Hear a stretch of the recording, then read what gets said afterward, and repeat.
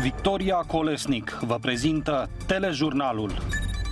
Bună ziua și bine v-am regăsit la telejurnalul ore 18 pe TVR Moldova și TVR3. Iată principalele titluri ale ediției. Peste 100 de șoferi au protestat astăzi în piața Marii Adunări Naționale din Chișinău față de scumpirea continuă în ultima perioadă a benzinei și motorinei.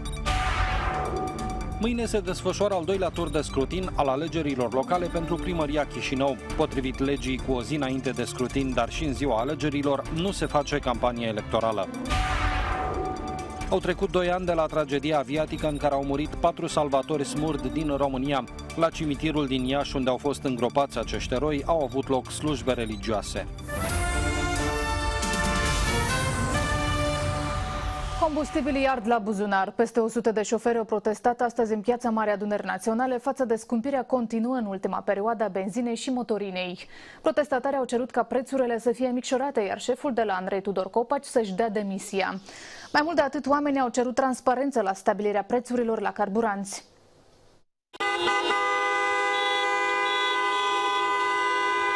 Să facă niște calcule într-adevăr transparente și corecte, motivate, pentru că toată lumea este nemulțumită. Dacă se mărește combustibilul, asta spune să se mărește și pâinea, să mărește și lactatele, tot se mărește. Dacă lăsăm să crească prețul la carburant și la alte produse, mă tem că, nu știu, voi rămâne singuri în Republica Moldova. Nemulțumiți de noile prețuri mărite la carburant, șoferii au mers în marș claxonând, iar apoi au blocat mai bine de o oră bulevardul Ștefan cel Mare.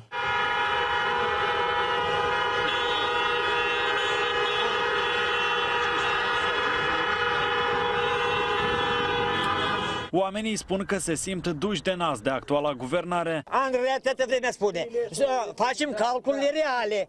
Au făcut calculele reale pe 12 zile, două săptămâni și numai au făcut, ăstea au auzit că oamenii vor să iasă în stradă și deodată, dacă e independentă, de trebuie să fie independentă 12 zile, dar nu, numai domnul Filipo Zvaloc Drugu și s-a terminat independența, de amui dependentă. Noi ne dorim pur și simplu un preț decent pentru Republica Moldova, trebuie să nu uităm unde trăim, în ce țară trăim totuși și ce salarii avem și apoi să stabilim prețurile alea magnifice pentru, la combustibil și plus la toate impozitele pentru drumuri pe care le achităm și avem niște drumuri de nimic. Unii protestatari au ajuns cu peripeții la protest. Un șofer se plânge că a fost amendat de polițiști pentru că avea lipit pe mașina de serviciu un banner pe care scria că este împotriva scumpirii carburanților. Azi, stăpânul la mașina pe care lucrez eu în taxi, a fost stopat de, de poliție cu pretenția că cineva din pasageri a sunat și a spus că el e drogat, merge drogat la volan. Poliția l-a luat, l-a dus la Petru Rareș 32, a trecut comisia asta, da, tot e normal.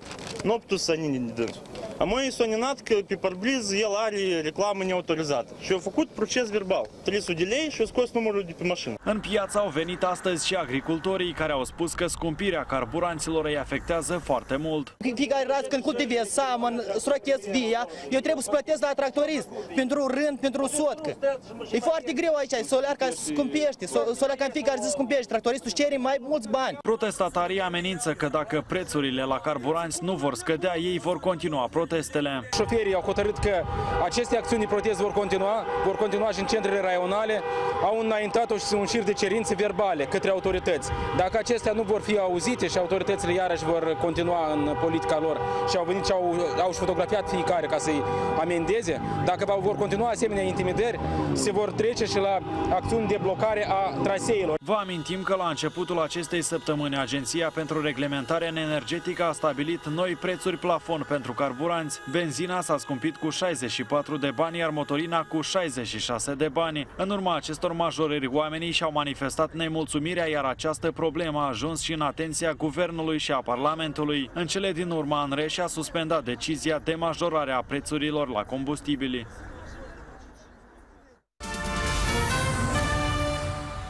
Este ziua tăcerii în municipiul Chișinău înainte de turul 2 al alegerilor locale. Potrivit legii, cu o zi înainte, dar și în ziua scrutinului, nu se face campanie electorală. În aceste zile este interzisă difuzarea materialelor cu tentă electorală, dar și apariția candidaților la emisiuni TV sau radio. Mâine, în municipiul Chișinău, se va desfășura turul 2 al alegerilor locale. Potrivit codului electoral, astăzi și mâine, candidații la funcția de primar al capitalei Republicii Moldova nu au voie să facă propagandă electorală, să participe la emisiuni de dezbatere televizate și radiofonice și nici să cheltuiască bani din fondurile electorale. Secțiile de vot se vor deschide mâine la ora 7, iar alegătorii vor avea posibilitatea să-și exercite dreptul de vot până la ora 21. Pentru turul 2 al alegerilor locale noi din Chișinău au fost tipări tipărite circa 635.000 de buletine de vot. 408.000 sunt în limba română și alte aproximativ 227.000 în rusă. După primul tur de scrutin din 20 mai în cursa pentru fotoliul de primar al Chișinăului au rămas Ion Ceban, candidatul socialiștilor care a obținut 40,97% din voturi și Andrei Năstase, candidat din partea platformei Demnitate și Adevăr, pentru care au votat 32,12% dintre alegători.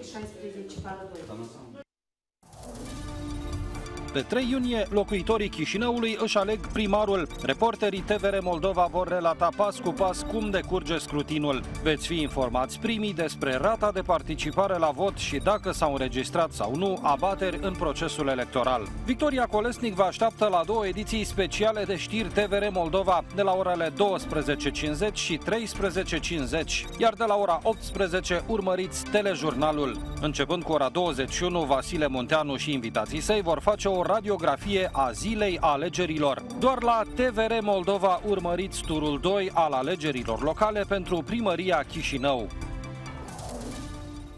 Polonia așteaptă propuneri constructive din partea autorităților de la Chișinău pentru a relua acreditarea agriculturii din Republica Moldova. Într-un interviu exclusiv la TVR Moldova, ambasadorul Poloniei la Chișinău, Bartolomei Zdaniuc, a declarat că Republica Moldova are potențial pentru dezvoltarea agriculturii și a mediului rural, dar nu creează condiții pentru a-l valorifica. Bartolomiș Daniuc și-a exprimat regretul că Republica Moldova nu a profitat de acordul de creditare agricolă din 2014, prin care Polonia urma să ofere 100 de milioane de euro. Potrivit ambasadorului polonez, țara sa e deschisă să reia creditarea, însă doar după ce guvernarea de la Chișinău va garanta condiții echitabile de activitate pentru cei care investesc în agricultură. Așteptăm o propunere constructivă eh, din partea partenerilor noștri din Republica Moldova.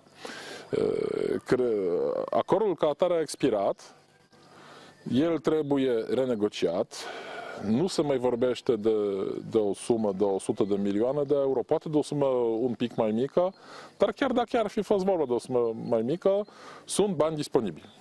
Sunt bani disponibili, uh, numai că trebuie să ne așezăm, uh, trebuie să hotărâm după ce condiții și, în primul rând, și în primul rând, acest lucru vreau să subliniez, unele proiecte care au fost acceptate în mod bilateral, de, de comun acord deja, ele trebuie duse până la capăt.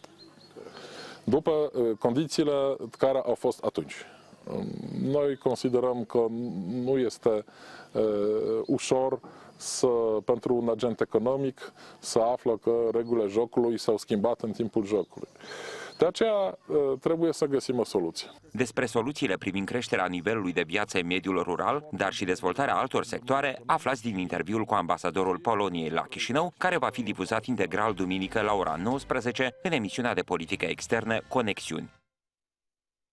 Nici nu a revenit bine din Federația Rusă că președintele Republicii Moldova Igor Dodon intenționează să facă o altă vizită la Moscova peste aproape o săptămână.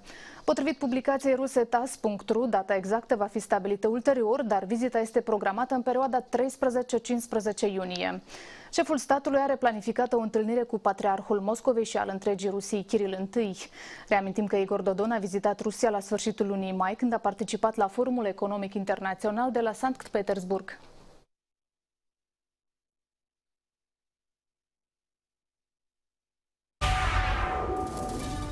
La festivalul TIFF de la Cluj a venit Brad Pitt, nu cel adevărat, ci un actor olandez care seamănă izbitor cu starul american. El este protagonistul unui scurtmetraj prezentat în festival. Îl vedem împreună mai târziu în telejurnal.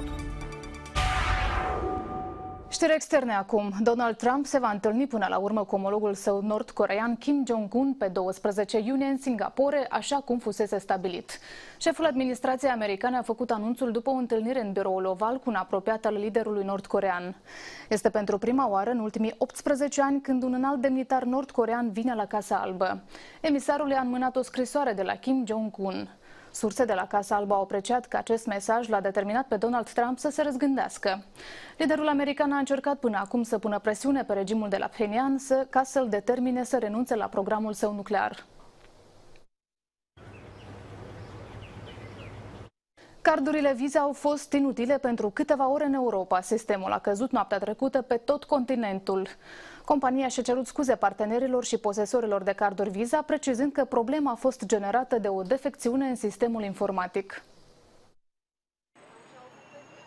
Plățile cu cardurile Visa au fost imposibile aseară în orice țară europeană, inclusiv România. Se puteau retrage bani de la bancomate, dar plățile cu cardul erau respinse. People came here with the card and when it's not going through, so we lose the customers. So they don't have the money and they just walk out? Yeah. Do you know how much you might have lost in the last few hours? It's about three to four hundred pounds. Abia spre miezul nopții, Visa a emis un comunicat prin care își cere scuze clienților săi și anunță că sistemele au fost repuse în funcțiune în parametri aproape normali. Problema a fost generată de defecțiuni ale hardware-ului. Nu avem motive să credem că acest incident a fost cauzat de un acces neautorizat sau un malware. Visa has not yet said anything about compensation. I think it's worth keeping hold of receipts and, and keeping documentation of the ways in which you are out of pocket. Deocamdată nimeni nu știe exact cifra pierderilor înregistrate din cauza acestei defecțiuni. Trafic de coșmar și cozi kilometrice pentru turiștii români plecați în mini-vacanța de 1 iunie. Pe DN1 spre munte șoferi au stat în coloană. Pe sensul de urcare spre Brașov, șirul de mașini s-a întins pe 6 km. La ieșirea din România spre Bulgaria, turiștii au așteptat 10 de minute în punctul de trecere a frontierei de la Vama Veche. Mai repede au ajuns cei care au ales stațiunile de pe litoralul românesc. Soare, plajă și mare e tot ce și-au dorit cei care au venit pe litoral în mini-vacanța de 1 iunie, iar dorințele li s-au îndeplinit. Temperaturile s-au apropiat de 30 de grade. Foarte bine, mă distrez. M-a rugat o fetiță să fac uh, un castel. Am ales să ne jucăm copii, să petrecem timpul împreună. Îmi place la mare pentru că sunt valuri și aer curat. Am intrat un pic cu picioarele în apă. În multe zone de pe litoral este în continuare arborat steagul roșu. Sunt copii când apă lăsați fără părinți, părinții stau pe mal, se bronzează și copiii se joacă la mal. Ei simt pe aia lor că au venit la mare să se distreze și nu e marea noastră. Au fost pline și piscinele hotelurilor, unde cei mici s-au bucurat de tobogane și petreceri cu spumă sau cu magicieni. Ridicați mâinile în aer, la mulți ani! Este ziua mea preferată, îmi place mai mult decât ziua mea de naștere.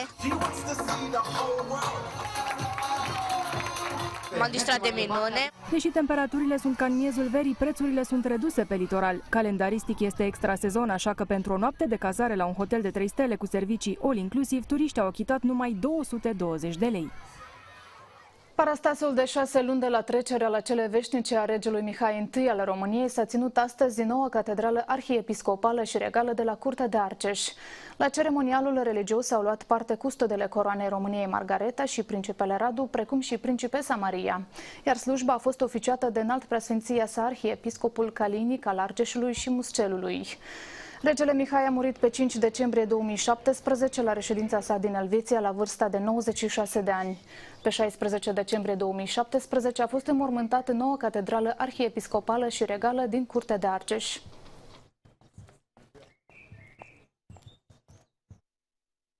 La festivalul TIFF de la Cluj a venit Brad Pitt, nu, nu cel adevărat, ci un actor olandez care seamănă izbitor de mult cu starul american.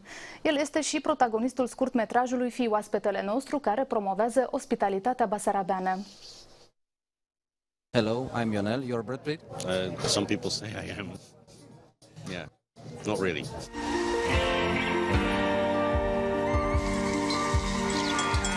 El este Ronald Huisman, este designer grafic în Olanda și protagonist al unui scurt metraj care promovează imaginea Republicii Moldova. O, here you are. Moșule, mă tale măcar știi cine este. Dar cum să nu?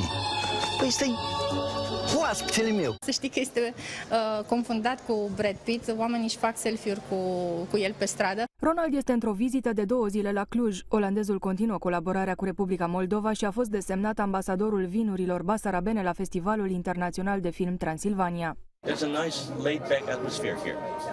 Yeah, I think I, as far as what I've seen from the festival, it's a really nice laid-back festival. Bigger than I expected, actually.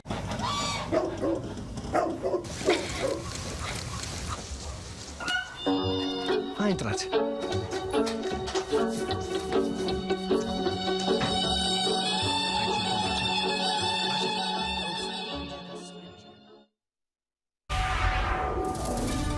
Valorile și tradițiile neamului românesc sunt păstrate cu sfințenie în satul Palanca, raionul Călăraș, și asta datorită muzeului Casa Părintească, înființat în anul 2000. În telejurnal vă spunem mai multe despre zestrea acestei instituții de cultură.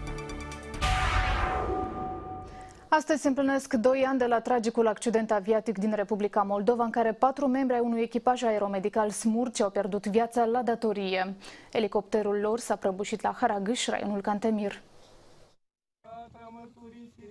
Au curs lacrimi în pădurea de salcâmi de la marginea satului Haragâș din sudul Republicii Moldova. Colegi, prieteni, oficiali de stat, dar și localnici au depus astăzi flori la complexul memorial din raionul Cantemir. Sacrificiul suprem al salvatorilor smur din România nu va fi uitat niciodată. Atâta timp cât noi ei voi pomeni de dânși, atâta timp ei vor trăi alături de noi. Am venit în număr de 5 persoane uh, de la Spitalul Sfântul Spiridon și Unitatea Specială de Aviație pentru a comemora cu tristețe uh, acest eveniment. Acum un an o cruce a fost ridicată chiar în locul unde elicopterul a atins cu elicea primul copac. Câțiva metri mai încolo, la locul prăbușirii, a fost ridicat un monument comemorativ. couldn't see.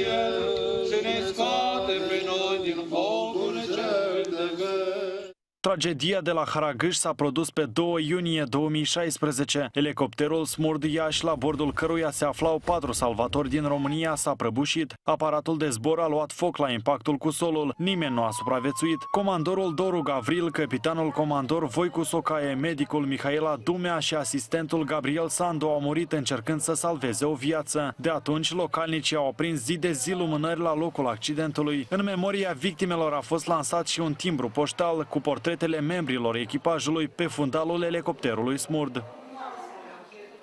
Feria muzicii și a desenelor animate s-au făcut simțite la Teatrul Verde din Chișinău de Ziua Internațională a Copiilor.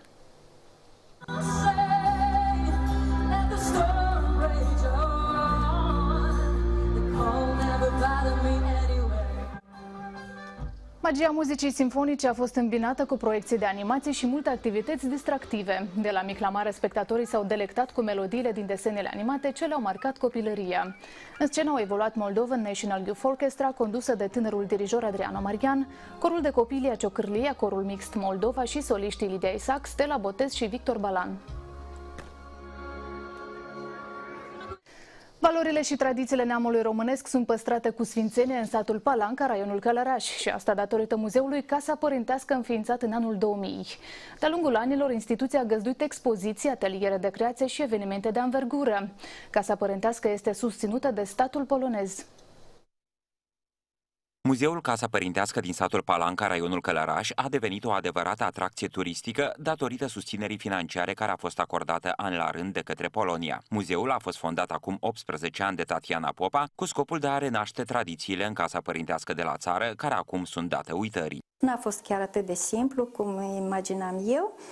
Uh, practic, aproape ruini uh, din această casă și din 2000 tot, tot ies din impas din ruini ca să pot exista și să pot uh, visul meu să-l uh, îndeplinesc, uh, pentru că am început să lucrez cu copiii satului și femeile neîncadrate în muncă, am înregistrat organizații neguvernamentale și grație acestei organizații, grație micilor proiecte, primele proiecte au fost din Olanda, Cordai de Olanda, Ianivo, apoi au fost proiecte europene cu Fundație Culturală Europeană, am ajuns și la uh, proiectul cu Susținerea uh, susținere polo- poloneză, da, care avem foarte mare susținere, pentru că de obicei proiectele uh, sunt făcute pentru educație, educaționale, dar nu pentru readucerea edificiului în stare bună.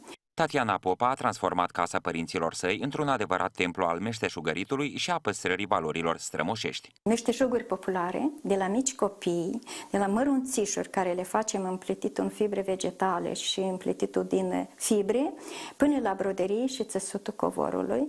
Cu ocazia zilelor europei marcate în acest an în Republica Moldova, ambasadorul Poloniei la Chișinău, Bartolomiș Daniuc, a vizitat casa părintească de la Palanca. Mulțumim din suflet pentru uh, efortul și răbdarea care ați avut-o să ne ajutați ca să vedem ceea ce vedem astăzi.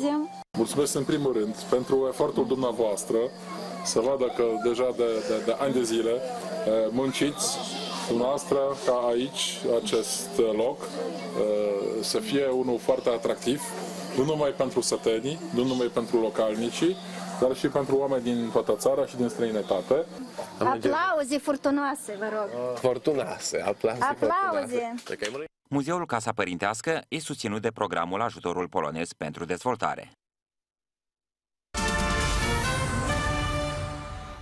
Populația de cod din Marea Baltică, principala sursă de pește pentru Europa, a ajuns la cel mai jos nivel din ultimii 50 de ani. Față de anul trecut, cota pescarilor a fost înjumătățită. În ultimii șapte ani, nimeni nu a reușit să atingă cotele impuse de Consiliul Internațional pentru exploatarea mărilor. Acest cod nu va ajunge în farfuria nimănui. Peștii scoși din mare vor ajuta la rezolvarea unui mister, cel puțin asta speră specialiștii. Răspunsul va ajunge pe masa miniștrilor din țările europene și întrebarea ar fi de ce codul este din ce în ce mai puțin și din ce în ce mai mic. Fenomenul este studiat la Universitatea Suedeză de Științe Agricole. Din tranșa aceasta, cei mai mici ajung înapoi în apă. Exemplarele mai mari sunt cântărite, măsurate și apoi marcate.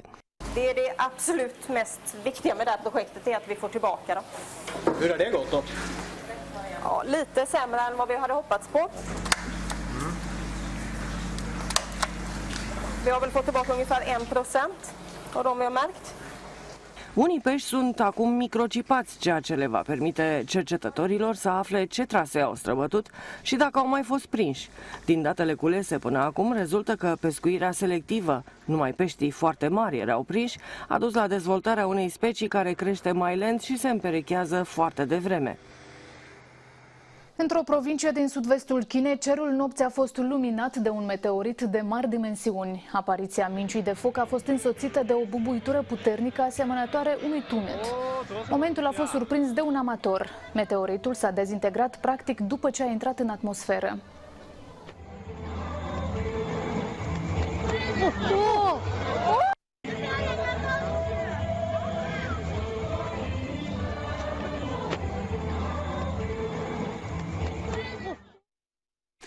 Final să vedem datele meteo.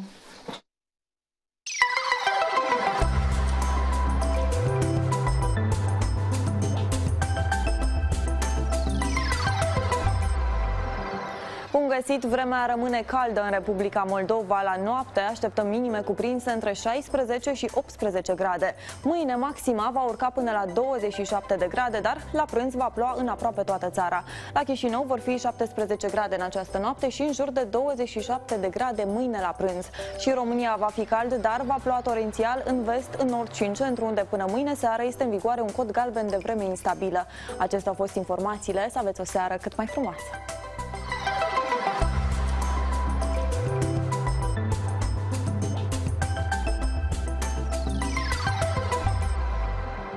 Telejurnalul a ajuns la final. Știrile noastre sunt pe tvremoldova.md, dar și pe pagina de Facebook, unde așteptăm opiniile dumneavoastră. Rămâneți cu TVR Moldova.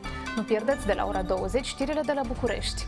Eu sunt Victoria Colesnic și vă mulțumesc pentru atenție. Să aveți o seară așa cum vă doriți. La revedere!